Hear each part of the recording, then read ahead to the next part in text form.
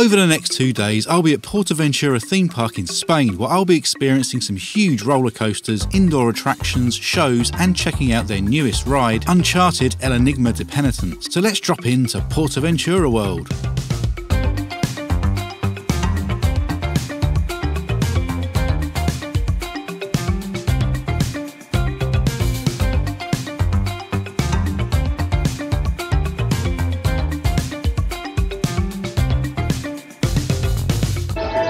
Greetings from the wonderful Portaventura.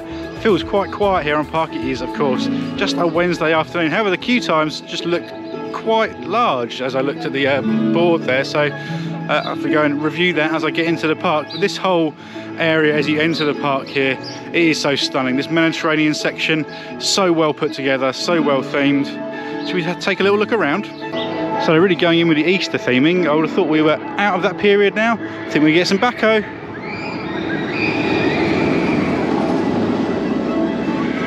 How cool does Furius Baco look over the lake there? So along here you also have the sort of main shops and some of the main dining areas. Really only just one ride in Mediterranean, the rest of it is all the sort of the entrance walk-through section. But it's all very nice, there's a very cool vibe around here, feels relaxed, the sunshine doesn't hurt. It does feel like you're just in a Mediterranean seaside village. So apparently Furius Baco is on a 1 hour 50 minute queue that's far too excessive for what is not a particularly great coaster. So let's go for a wander. Baco does often get the larger lines because it's right near the front of the park, but operations at Portaventura, uh, I mean, they don't have the best reputation here. I've personally not experienced it being too bad here myself, but let's see.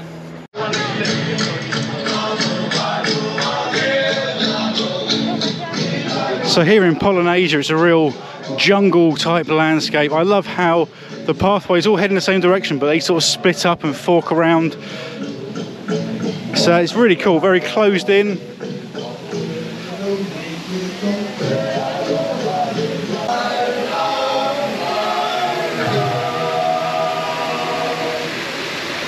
So for their faults operationally, what Portaventura do do exceptionally well is the theming and landscaping of their parks. I mean, it all just looks stunning. This is, in my opinion, almost sort of universal quality. It is such a lovely park to be in and spend some time at. One of the first rides you come to here in Polynesia is Tutuki Splash. And this is a tidal wave style shoot the shoots, massive splash machine.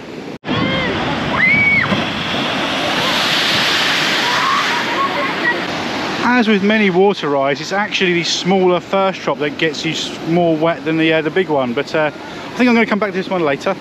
It's a solid, solid water ride, but uh, I'm not sure I want to get soaked just yet. We'll save that for later or tomorrow.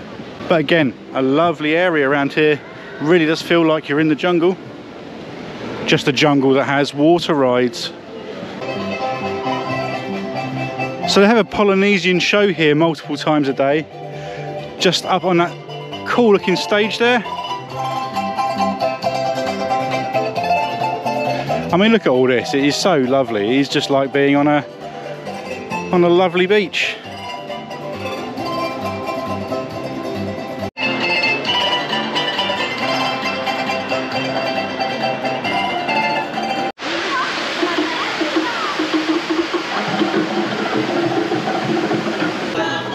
As we just come around the corner here, you're going to see one of the nicest themed pirate ships there is.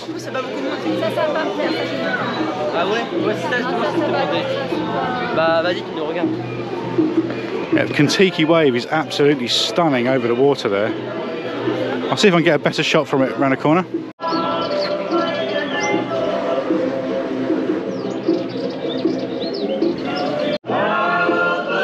I love how you can wander up into these quiet little corners.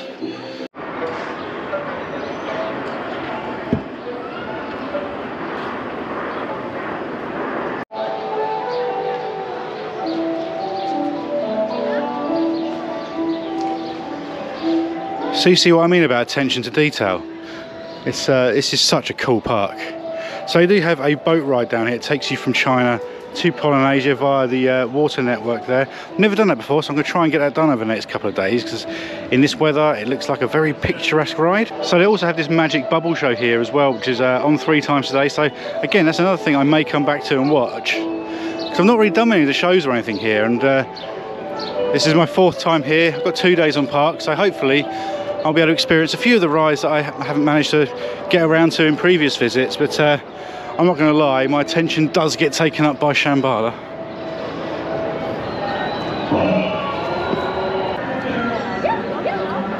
And that's why every park should have a hypercoaster. They just dominate the sky, don't they? Subscribe if you like pandas.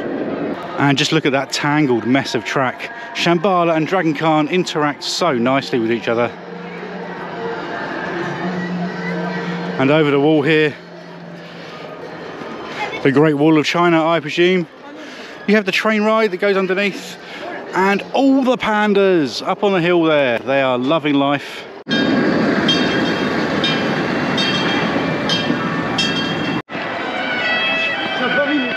Now this is the main square here. It really is quite beautiful.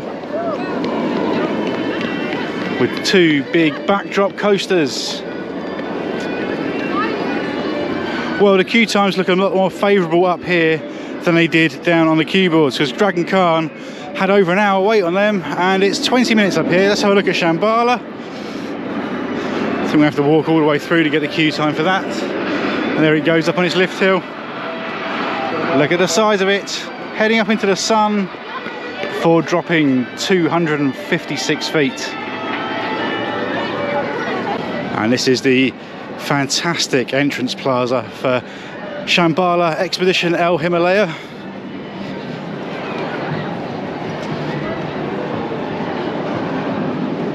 Starting off in base camp. And then we're about to scale a beast.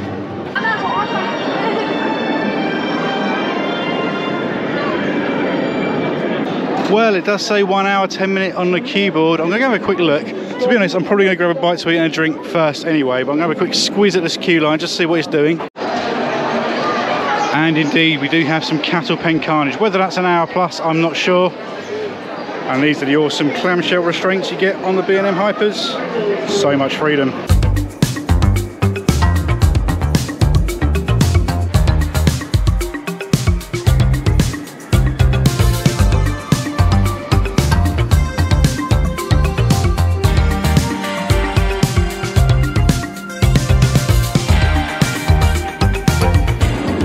This section in between China and Sesamo Place provides some fantastic views of Shambhala's main drop and big airtime hill and Dragon Khan around here as well. Look at the tangle of track.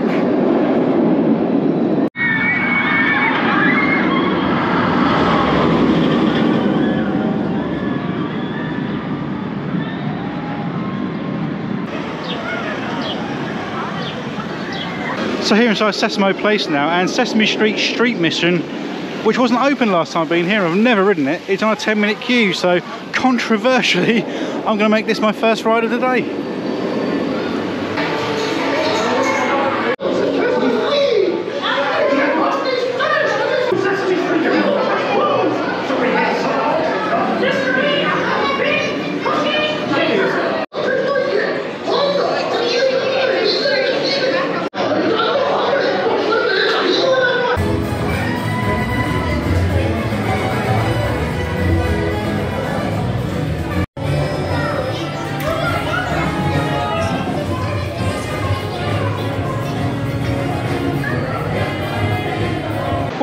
Sesame Street Street Mission was pretty darn good. A trackless dark ride uh, with a slightly messy shooting system, but that didn't detract from what was a really well-themed attraction.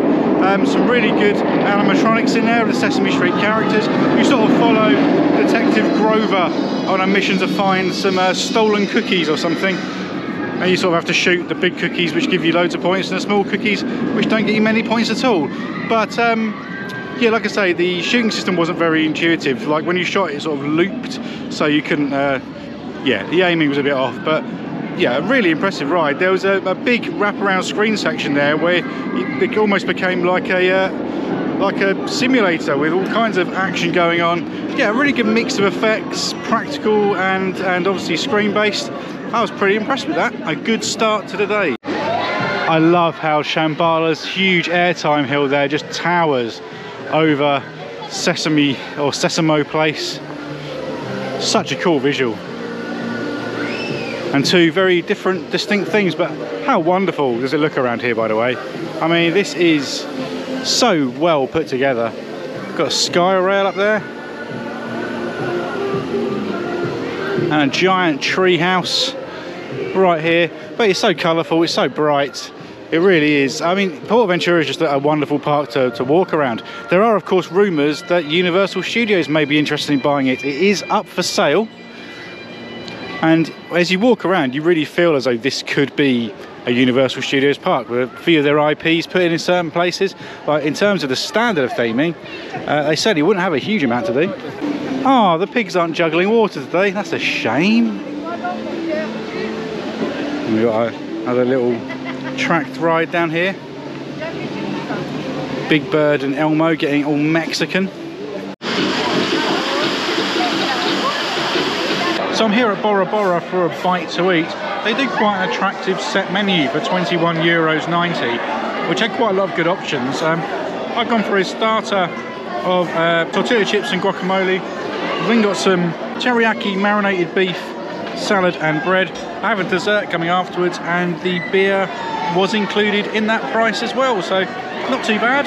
Let's tuck in. So the food at Bora Bora was decent there. Um, the quality was good. I think the price was reasonable for a theme park.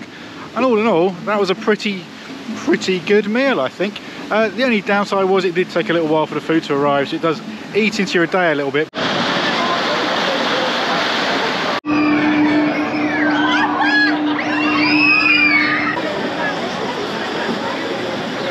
You know, sometimes I question whether Portaventura gets talked up enough for its standard of theming. Everyone talks about Phantasialand and Europa Park and Efteling in Europe, but I think Portaventura is right up there. And here we have the coaster building for Uncharted El Enigma de Penitence. This is the newest roller coaster here at Portaventura. It's an Intamin family launch coaster. Unfortunately, it has an hour and 30 minute queue, so I'm going to hold fire on that for a little while and go and do some things with slightly smaller queues. My feeling is that um, once some of these schools head out, a lot of these queues are going to die down. So Tomahawk behind me here had quite a serious accident a few months ago when um, during operation on a very windy day, a tree was blown onto the track uh, and did cause some injuries. So it's been closed for quite some time, quite those few months. I've got to say, I didn't expect it to be open when I came out here on my trip. So great to see they've got it back open. Such a freak accident, you know, a tree falling down, but and as you leave the far west you enter Mexico. That's almost geographically accurate to be fair.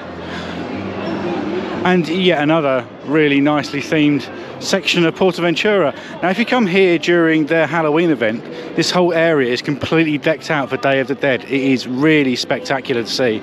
And I highly recommend it because it's a very cheap time of the year to visit. And they also have a very Day of the Dead influenced merchandise store here as well. So if you take a look up there, you may notice that that drop tower is bloody massive. That's Hurakan Condor, over 300 foot tall, quite intimidating, but quite a lot of fun too.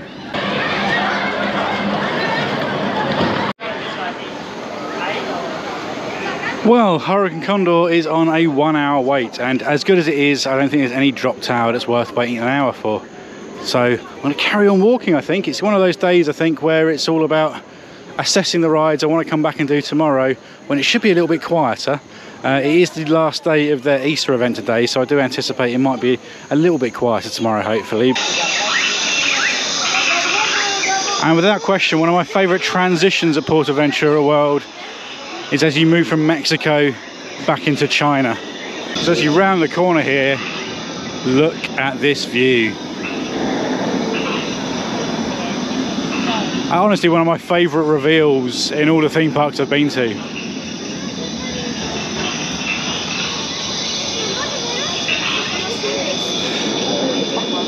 Because you know, that's how you do a coaster skyline right there, isn't it?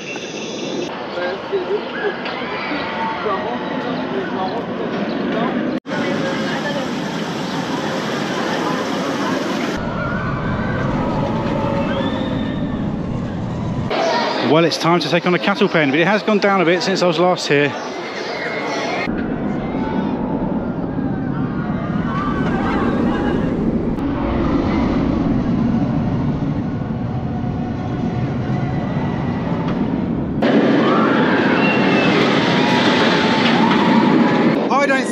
Words can describe the love that I have for Shambhala. It's just such a good hyper coaster. You really feel that difference in speed with the other B&M hypers with this, in my opinion. The bottom of the drop, you just sort of shake because it's so forceful. Um, the turnaround is great. The airtime over every hill delivers, particularly over the speed hill. This splashdown behind me, a great visual element, but also cool to experience. I think this is comfortably B&M's best hypercoaster. I mean, I hear people talk about Mako all the time, but that feels so tame in comparison to Shambhala for me. I think this is top tier, and a reason to come to Portaventura. Yeah, come here and ride Shambhala because it is a banger. So I decided to enter the queue line for Templo del Fuego. I believe this is a dark ride. I've heard quite good things about it. I'm going the wrong way there into a part of the queue line I shouldn't be going to. Uh, I've, I've, managed to never do this on previous occasions. It's uh, one that's eluded me. I think it was actually closed last time I was here. So yeah, quite interesting to see what this is all about. And as with many of the rides here, the queue line theme is pretty impressive.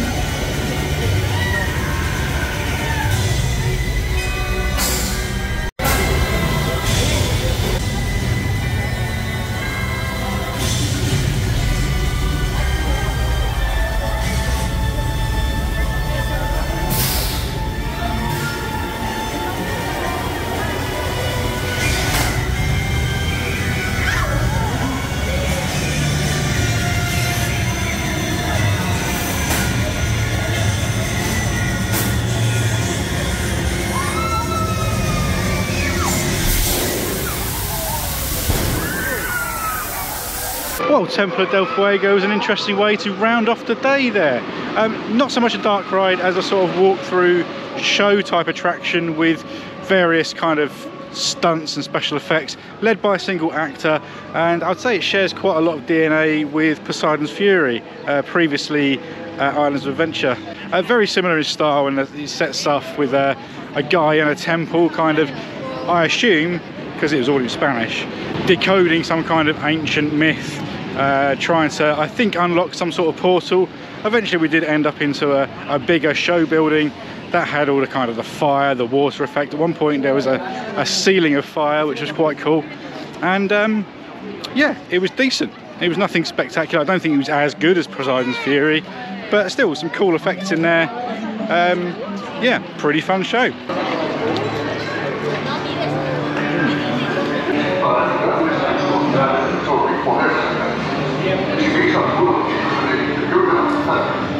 This is the weird sort of Tom Holland.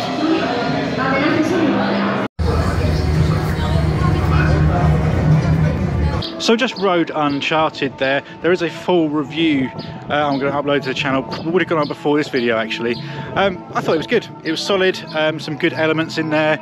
Uh, it's fully multi-dimensional, so it does spin and go backwards and have launches and all that kind of stuff. So yeah, definitely recommend it. It's uh, much more of a dark coaster than a themed coaster.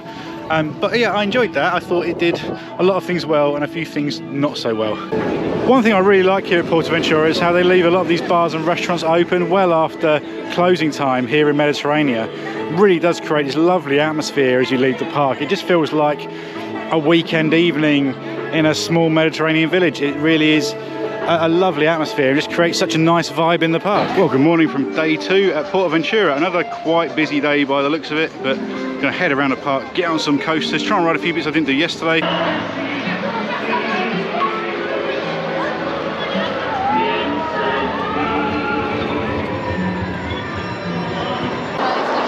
So a slight pivot and starting the day with El Diablo Mine Train on a 20 minute wait, that's not too bad.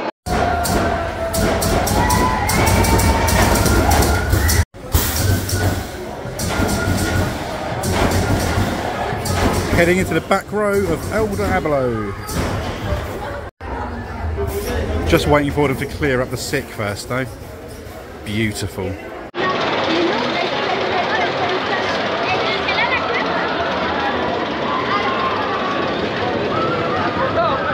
El Diablo mine train is pretty good fun. It's uh, it's a very interestingly paced ride, but we'll come to that in a second. One thing I've always loved about it is the way it interacts with the log flumes. First starter ride is almost entirely over the log flume section, including one drop over there, which in the back row absolutely yeeted me out of my seat, which I wasn't expecting. Like I say, the pacing issues kind of kick in in the second half. You have two more lift hills, but the one behind me there is the final lift hill and drop of the ride uh, which I think may be the, the tallest one as well. The, the, middle section of the ride is really feels really off compared to the rest. It's, it's very odd pacing, but fairly good fun. A little bit of a rattle. Obviously, had to wait around because someone yacked their guts up on the train. Which is odd because it's not particularly extreme, but there you go. So Hurakan Condor is just testing ahead of opening at 11 o'clock. Unfortunately, the queue for it is already massive. So Serpiente Emplumada, can't believe I got that right first time, is uh, this cool little flat ride here. I think we're going to jump on this.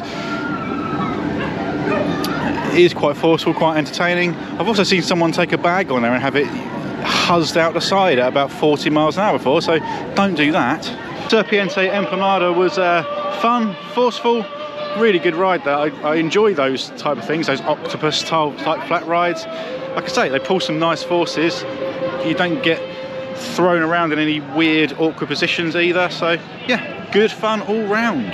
It's so weird seeing that big Uncharted building there now. Definitely changes the skyline a little around here.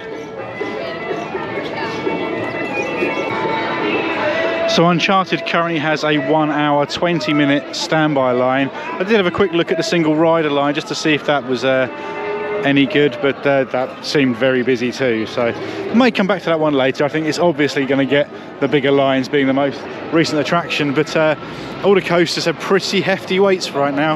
A bit like yesterday's, I think I may leave those until later this afternoon and, and tick off a few other rides instead. Also starting to get a bit warmer now, so that certainly opens up the water rides. And we've got some entertainment here, we've got some action going on.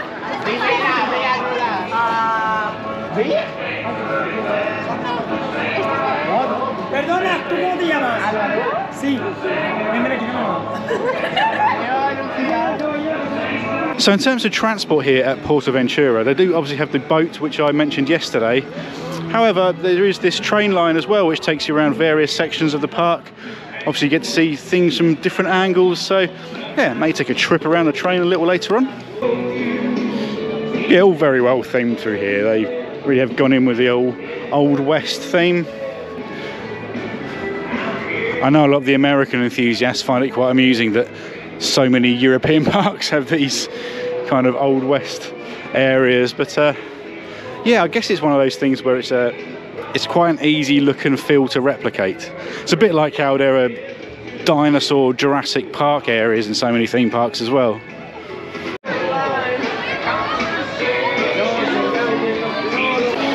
So like I said, it's getting a bit warm now. It's a 10 minute wait for the log flume. Let's do it. Ugh, and trip myself up as I enter the queue line. You always get world-class content here on Loop Theme Park Adventures. And you can see there where the mine train interacts, that the track comes that close. And it was that bend up there, I don't know if you can see it, pointing at it right there. Yeah, that drop off that was uh, was pretty fierce.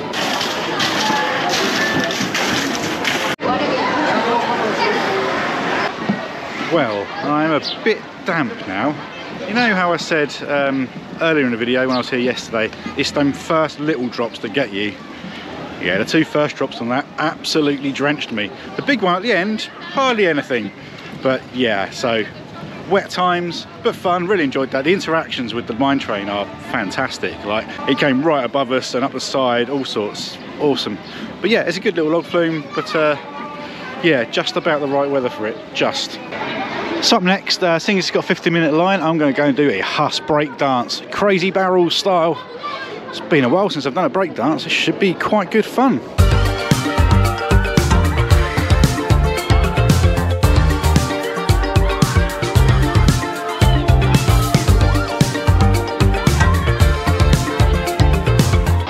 Pretty good fun. Not the most intense cycle for a breakdance by any means. Certainly the second half going the other way, it barely moved at all. But first half was decent, pretty forceful in places. Can't really go wrong with a Huss breakdance really.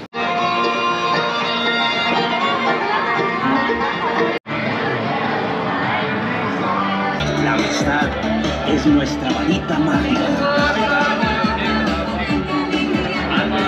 Well, you don't see that every day in the Old West. Well, the queue for the Rapids looks fairly short, and seeing as I'm already wet, I may as well.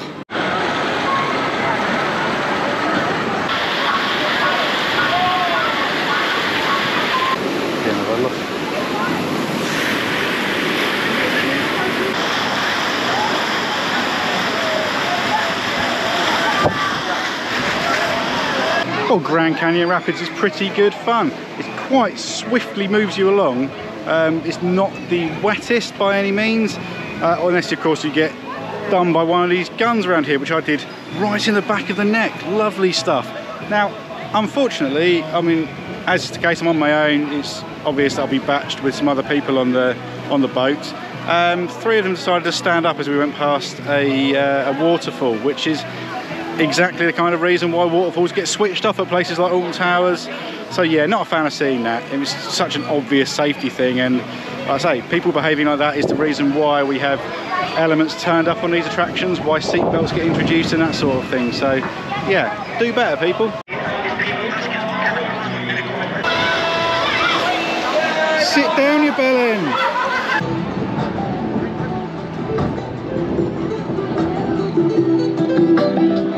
I do love this bridge here. The, the views from both sides are so nice. Mediterranean, looking a little quieter than earlier, so I'm going to wander around, look at what the food options are. Yeah, definitely a lot quieter around here than it was earlier.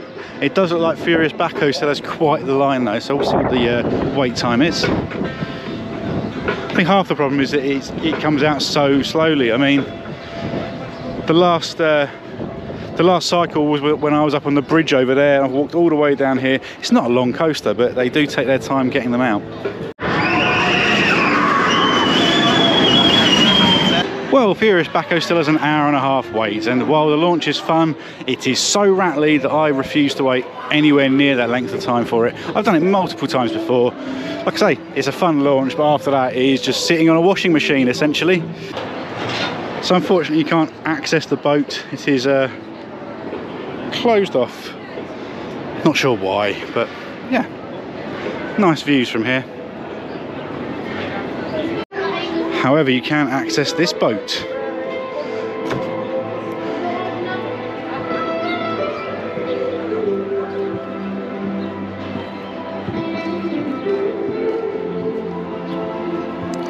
Yeah, not gonna lie, this is this is a bit of a vibe right now. Laid back music, awesome views, and chilling on a random boat.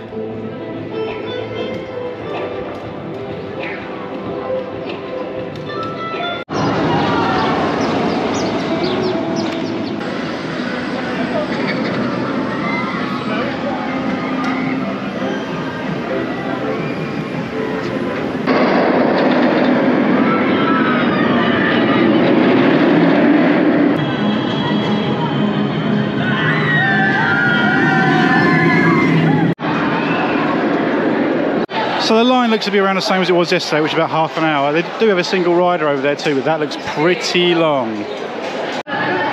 Well, approximately 30 minutes later, and I've made it here. Very slow moving. Well, yesterday I waited 30 minutes for a queue that was advertised as 50, and today I waited around 50 minutes for a queue advertised as 30. So I guess they balance each other out. Um, I did kind of get my first glimpse of PortAventura's poor operations on that occasion, though, with uh, them loading literally full trains of Fastpass, which, yeah, I don't think that's uh, that's too great at all. But Shambhala is still one of the best roller coasters in Europe, one of my favourite roller coasters out there. Still a top 10 for me. Watch my top 10 list up on that link up there somewhere if you like. But uh, yeah, Shambhala top tier. The downside of waiting that long for Shambhala though is I missed the last bubble show of the day, uh, which is a shame, would have been cool to see that, but uh, the way it goes. Well, certainly it looks like I got on at the right time.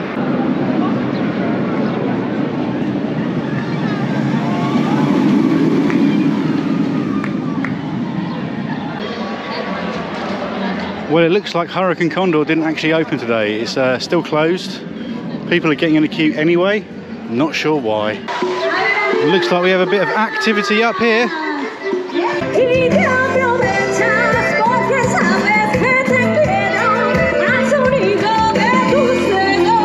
Hey, listen, baby.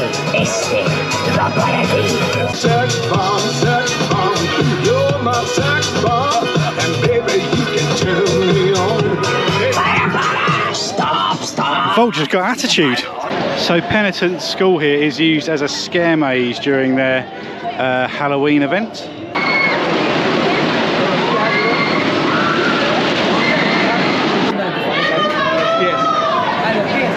Well, Stampida is a CCI Woody.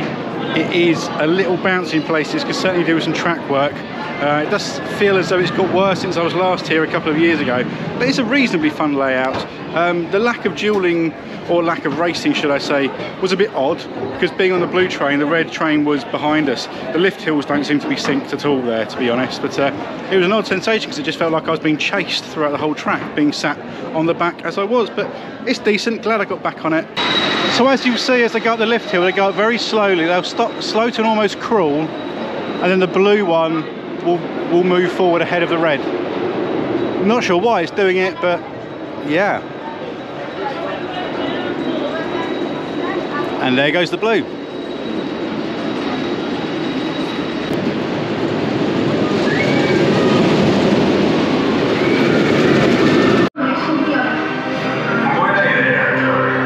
Well, single rider looked quite busy, so I just came to the main queue, and this is way shorter than it was yesterday. I was queuing all along here, so fingers crossed. So just had my second ride on Uncharted there, and obviously now able to take in a few more of the elements and the effects. I think the screens really hurt that ride. I genuinely think it'll be a lot better without them. There's one section in particular when you come up to the first screen where you round a corner and it's complete darkness, then the screen just comes on. The problem with that is that there's, there's loads of background and stuff in the uh, in the imagery, so it's like none of that stuff existed until the characters arrived. Very odd, but I think the ride system's great. Uh, I really think as an indoor coaster, it's really solid. I almost wish it was just an indoor coaster in the dark. I think it would be a better uh, and much more fun attraction, but I guess they had an IP to satisfy.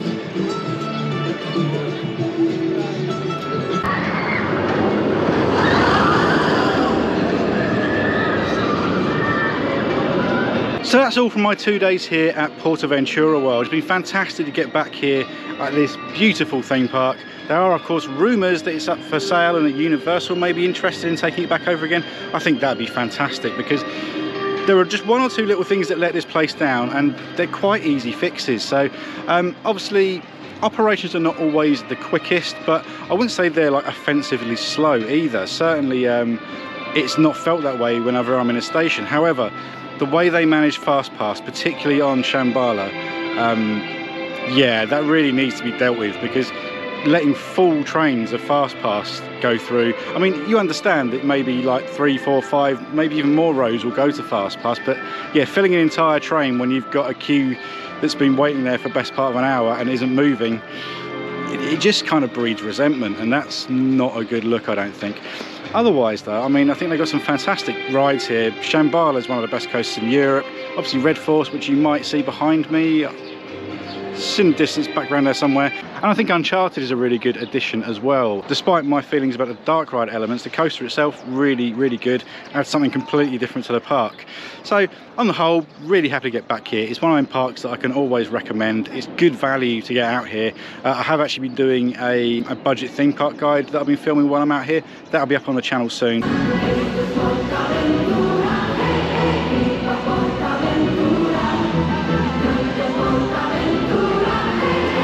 Think that might be one of the weakest fountain displays I've seen. It was literally a bunch of fountains doing the exactly same sequence over and over and over again to the Portaventura theme, which is just repeated about three times. Not sure why they did that, but there we go. Anyway, I'm gonna leave it there. Thanks for watching, and I'll catch you next time. Bye!